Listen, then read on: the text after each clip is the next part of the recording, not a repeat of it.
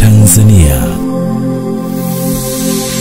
Mkuu wa wilaya amesema baada ya kuona na kusikia malalamiko hayo kwenye vyombo vya habari, ofisi yake imeamua kuwaita viongozi hao wakiongozwa na mwenyekiti wa chama hicho mkoa wa Njombe Rose Mayemba ili kuona namna ya kutafuta ufumbuzi wa kero hiyo. Mheshimiwa Rais wetu kama mnavyomsikia Mama Samia anahimiza zile 4 4R na zile 4R ni maridhiano, mageuzi, ustahimilivu na kujenga upya Tanzania yetu. Kwa hiyo na sisi tulivyoona hii kwamba Chadema wanaenda kwenye vyombo vya habari, mimi nataka niseme ofisi yangu kama mkuu wa wilaya iko wazi.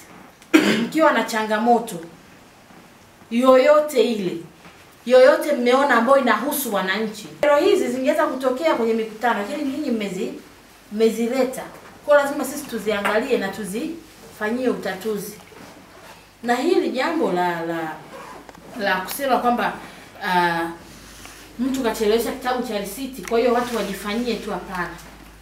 Hatuwezi kwenda kwenye kwenye utaratibu wa shamba la bibi, lazima hatua zichukuliwe kwa wote ambao wamesababisha mpaka tumefikia hapo, na pia tutafanya ukaguzi kwenye wilaya yote. Nataka niwahakikishie, tuangalie kama kuna watu ambao wanafanya kazi kama hizi, pia tuta- tutaendelea kuchukua hatua. Na baada ya kuwasikiliza viongozi hao wa Chadema katika mazungumzo ambayo yamechukua takriban saa moja na nusu, mkuu wa wilaya amesema kuwa serikali itafuatilia kwa ukaribu ili kuona ikiwa kero hiyo ina ukweli na kuahidi kuchukua hatua kali pindi uchunguzi utakapokamilika. Tulifanyia uchunguzi ile jambo.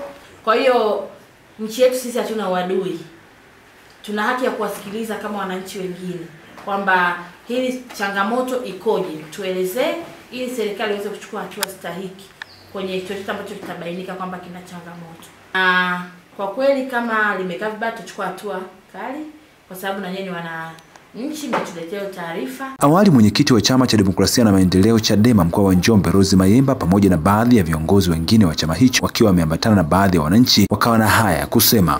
Mimi tayari nilikuwa nimeshapokea malalamiko kutoka kwenye majimbo mbalimbali na imekuwa ni changamoto kubwa. kwao. nikasema kwa sababu kuna jambo hili tunatakiwa tujadili kwa pamoja, eh, ni muhimu na mimi nika nikashiriki kwa sababu ni, ni, inaonekana ni tatizo sasa la mkoa mzima, sijui kwa mikoa ya wenzetu lakini tulipokea malalamiko kutoka kwa wananchi wa Uliwa na sio mara moja. Hii tuliona imeenda mbali zaidi, kwa sababu hata utaratibu wake haukuwa mzuri, yaani pamoja na kwamba eh, kulikuwa na risiti ambazo ni fake, lakini pia hata utaratibu uliokuwa unatumika eh, wa kuzi, eh, kuzipata hizo fedha kwa wananchi ulikuwa sio utaratibu mzuri. ikaonekana faini ni eh, faini ambazo tunazo sisi kwenye usafi hapa mjini ni elfu hamsini. Sasa nikasema huyu anatoa wapi hizi faini laki na sabini na tano elfu? Na hizo risiti zipo na hizo za hizo za hizo faini, na hizo ndio tulipeleka PCB. Kwa upande wake kaimu mkurugenzi wa halmashauri ya mji wa Njombe bwana Isaac Mapunda amesema kuwa viongozi wa vijiji kata ya Iwungilo walilazimika kutumia risiti zisizo rasmi wakati wakisubiri vitabu rasmi kutoka ofisi ya mkurugenzi ya halmashauri hiyo ya mji wa Njombe. kwa sababu tulishawaelekeza kwamba baada ya vitabu kuja sasa wawalipe hawa na orodha wanayo wawalipe wale vitabu vya halmashauri vile Risiti Sisi za halmashauri zinakuwa na na zinaanza na halmashauri ya mji Njombe na zinakuwa na kanemba hapo ndio zinakuja na hizo taarifa nyingine. Kwa hiyo hii walifanya temporary, ndio maana unaona walichana makaratasi kwenye orodha wanawapa, lakini baadaye mwisho wa siku lazima wape risiti zile za halmashauri. Kutoka hapa katika ofisi za mkuu wa wilaya mkoani Njombe, mimi ni Ibrahim Godfrey Mlele. You are watching Digital News Tanzania.